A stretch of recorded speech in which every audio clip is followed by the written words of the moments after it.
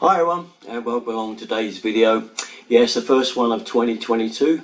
So this one, something I've been asked about a lot, especially as the weather has now turned really cold and the heating is going on and you're all well aware now of the increased fuel bills. They've all gone up. I'm sure you all found that out to your cost. So what are we going to do here? Some people are saying to me, what, what's the best option? What is the best temperature to have your thermostat set to? Now look, if, if you want to wander around your house with just a t-shirt and shorts on, then do have it at 21, 22, 23 and sure, you know, you're wasting energy because it enables you to walk around if it was a hot summer day outside. But if you want to save money on your fuel bill, and this is what this is about, then all you've got to do really is dress a little bit more sensibly.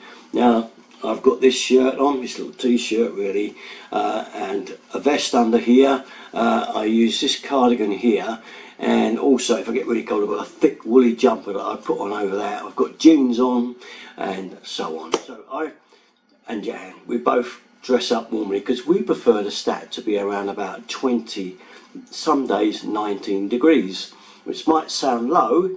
It is a bit on the cooler side, but if you've got the right clothing, then uh, you can make up that difference. And can you save some money on your heating bill?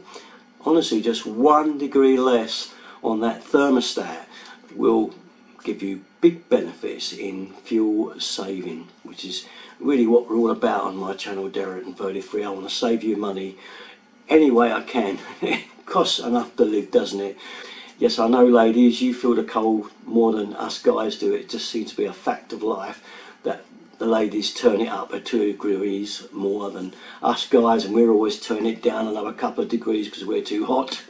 Just seems to be the way of it.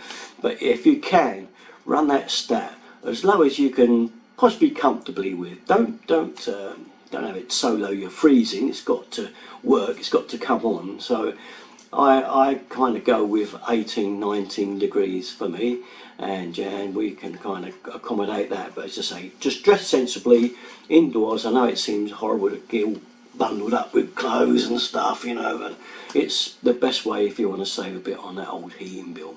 Okay so that's a common one I get asked all the time. Let me know what temperature you'd like to set yours at. I'd be interested to know and what you do about saving some money with your heating bills what you do. It'd be very interesting to let everyone know. Below in the comments. Okay so that's the first one of 22 done. More to follow. Thanks for watching everyone. Don't forget my old channel dereton33 see you next time. Bye bye